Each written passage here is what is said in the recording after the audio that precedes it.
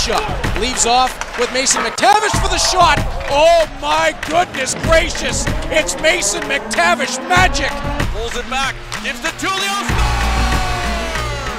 One timer tie, and the Generals win it in overtime. And there's Jan Mysak stepping ahead, shorthanded. Mysak works left and scores. Ritchie has some space. Curl, drag, shot, score!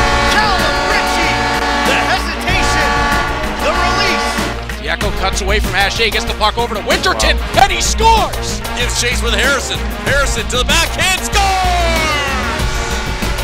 Just missed wide. Humphrey looking to set it on a tee for Diaco. That won't work. Diaco goes Michigan!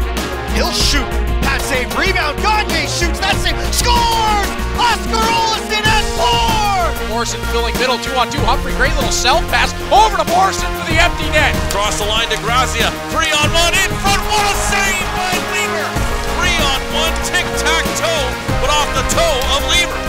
seconds left, 5 on 3. Harrison's one timer. Oh my goodness gracious! Marco Costantini. But the Beats keep the zone. Shot by Sproul. What a save! Zach Papatsakis. Centering the puck. Oh, what a stop. Mateo Trovac.